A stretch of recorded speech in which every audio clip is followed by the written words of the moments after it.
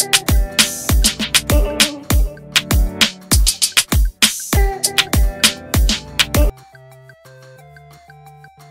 นอรดีเปิดใจเจอสาวใหญ่สวีเดนด่ากราดพาดพิงความรักกับบอยสิริชัยทำเสียชื่อเสียงจากกรณีสาวใหญ่ที่อาศัยอยู่ประเทศสวีเดน ตั้งเป็นยูทูบเบอร์ทำคลิปวิพากษ์วิจารณ์ หมอลำสาวชื่อดังแอนอรดี ด้วยการพาดพิงด่ากราดหยาบคายในทางเสียหาย พร้อมวิจารณ์ความรักกับแฟนหนุ่ม หมอลำบอยสิริชัยทำให้แฟนคลับของแอนบอยไม่พอใจเข้าไปตอบโต้สุดเดือดล่าสุดแอนอรดีได้เปิดใจถึงประเด็นดังกล่าวก่อนขึ้นโชว์ ณโรงเบียร์เยอรมันตะวันแดงแจ้งวัฒนะ โดยแอนอรดีเผยว่า แอนว่าการที่เราเป็นศิลปินมันต้องเจอกันทุกคนอยู่แล้ว แต่ว่าในครั้งนี้มันอาจจะหนักและคงแรงไปหน่อยจริง ๆ ก็จะทราบมาเหมือนกันว่าช่อง YouTube ช่องนี้มี character ในการนำเสนอข่าวประมาณนี้ ก็ได้เห็นและเข้าไปฟังบ้างตั้งแต่ตอนที่แอนยังไม่ได้เป็นศิลปินอิสระด้วยซ้ำตอนนั้นยังเป็นหมอลำอยู่เขาพูดถึงเราประมาณไหนก็วิพากษ์วิจารณ์ทั่วไปค่ะมีทั้งหนักและไม่หนักบ้างตามข่าวของเราในช่วงนั้น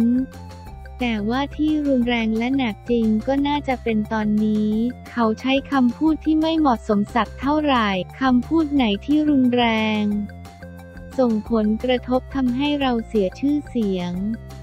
จริงๆ คนเรามันก็มีอดีตกว่าที่จะมาถึงวันนี้ แอนก็มีเหตุผลในเรื่องส่วนตัวไม่ว่าจะเป็นเรื่องแฟนเรื่องครอบครัวเรื่องงานการยกเอาเรื่องในอดีตเรามาพูดถึงให้คนเข้าใจเราไปในทางที่ผิด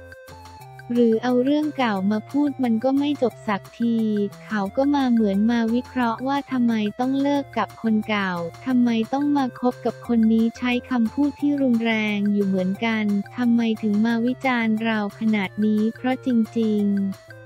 มันเป็นเรื่องส่วนตัวของเราด้วย และที่พูดมาไม่ใช่เรื่องจริงเลยด้วยซ้ำ คือรู้ไม่จริงแล้วมาพูดให้หลายหลายคนที่เขาฟังคลิปเข้าใจผิดมันเลยไปกันใหญ่ กระทบกับงานเราไหม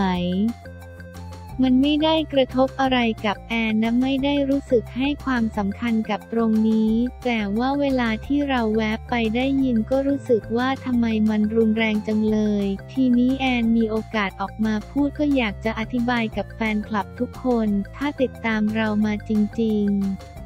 ควรที่จะโฟกัสที่งานและการแสดงมากกว่า คำพูดของเขาทำให้แฟนคลับเข้าใจผิด มีส่วนด้วยมันก็จะเกิดคอมเมนต์การด่ากันไปด่ากันมาทำให้เราเสียหาย แล้วบางคนใช้ข้อความที่มันดูแรงด้วย อยากจะฟ้องไหมไม่ค่ะ ก่อนหน้านี้ช่วงที่มีคลิปออกมาณวันนั้นล่าสุดแอนก็ได้เข้าไปดูจนจบ แล้วเข้าไปคอมเมนต์ด้วยอยากคอมเมนต์ให้เขารู้ตัวว่าเราฟังอยู่นะ เรารับรู้อยู่นะเขาก็พยายามหาทางตัดคลิปไปเลย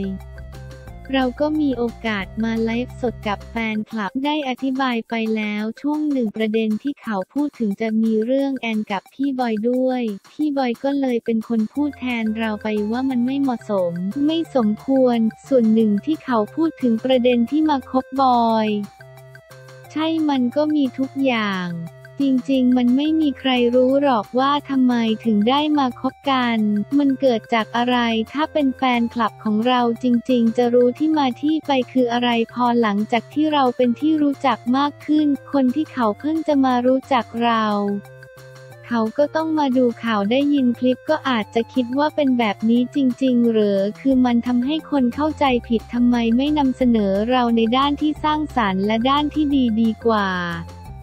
เพราะเราก็เป็นคนอีสานเหมือนกันแล้วเขาไปอยู่ต่างประเทศควรที่จะสนับสนุนกันมากกว่า ปัญหานี้เกิดขึ้นเมื่อไหร่แล้วแอนคอมเมนต์ตอบไปว่าอะไร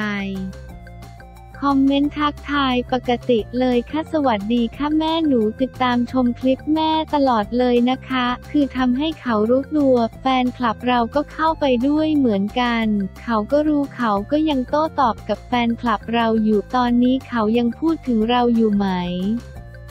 ก็มีนะมาเรื่อยๆ ด้วยความที่ไม่ใช่ครั้งแรกเราอยากจะจัดการยังไง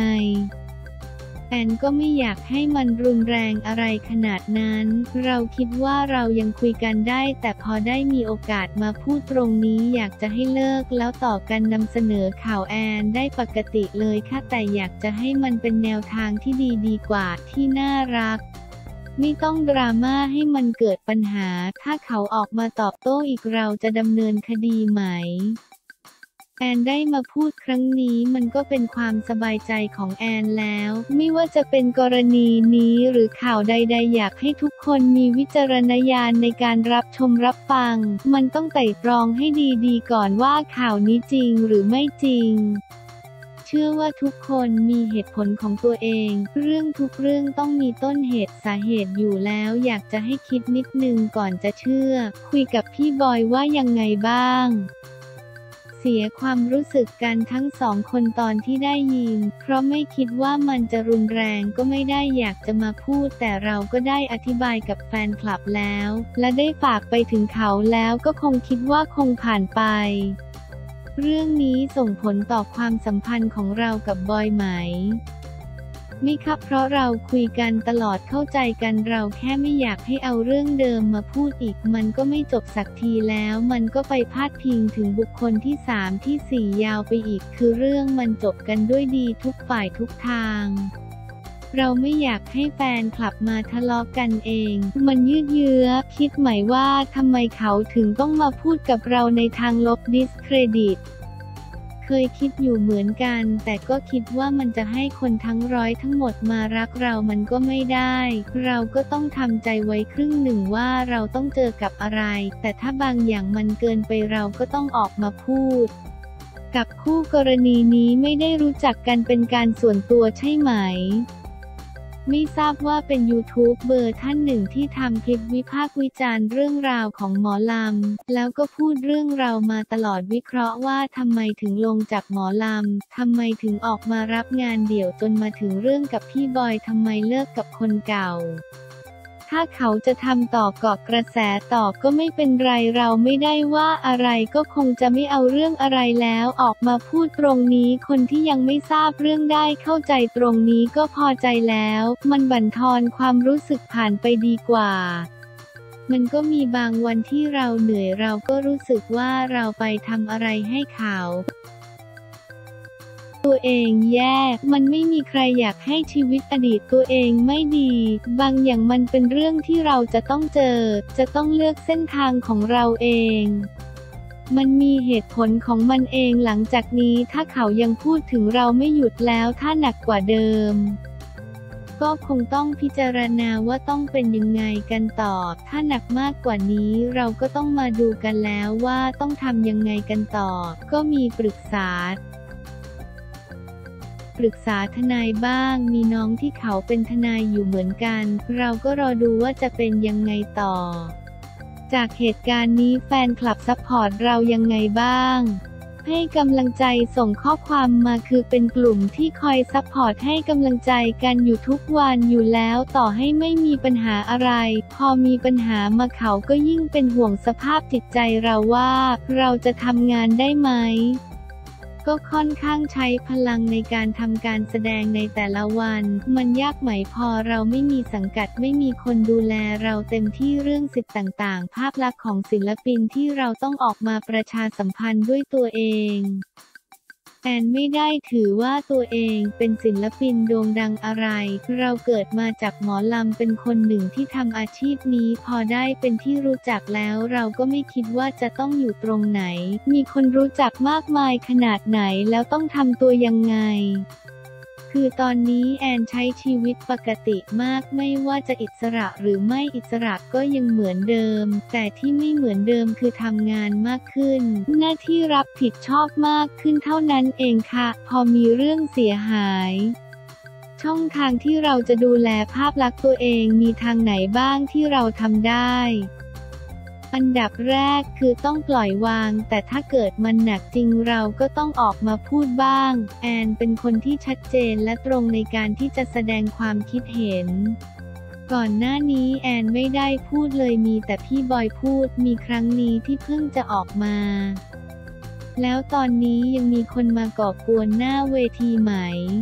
มีค่ามีปกติมีทุกงานเจอมาค่อนข้างหนักแอนคิดว่าศิลปินมีสิทธิ์ตอบโต้แฟนคลับที่ทำกิริยาไม่ดีกับเราหน้าเวทีไหม มีแค่เราเองก็เป็นคนเหมือนกันแค่มีหน้าที่ตรงที่ศิลปินนักร้อง เขาเป็นคนฟังแค่นั้นเองสิทธิ์มันเท่ากันอยู่แล้วในการที่จะอธิบายจะพูดว่า จับเบาๆอย่าดึงนะมันต้องเท่ากันอยู่แล้ว ไม่ใช่แค่คิดว่าจ้างมาร้องแล้วต้องทำยังไงกับเราก็ได้ ไม่ใช่แอนรู้สึกว่ามันเท่าเทียมไม่ใช่ว่าจะมาทำยังไงกับเราก็ได้ บางคนล้วงเราก็มีวันหนึ่งเราวิ่งหลายงานเจอทุกประเภทเหมือนกัน แต่เราแค่รู้สึกวันนี้ผ่านไปก็คือผ่านไป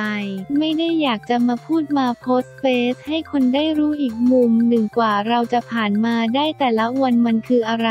ก็อยากเป็นอีกหนึ่งกระบอกเสียงเป็นตัวแทนของศิลปินอย่างน้องๆที่ร้องเพลงตามร้านเขาก็ออกมาโพสต์กันเยอะ โดนแฟนคลับพูดจาไม่ดีด่าถึงพ่อแม่ครอบครัวก็เกินไป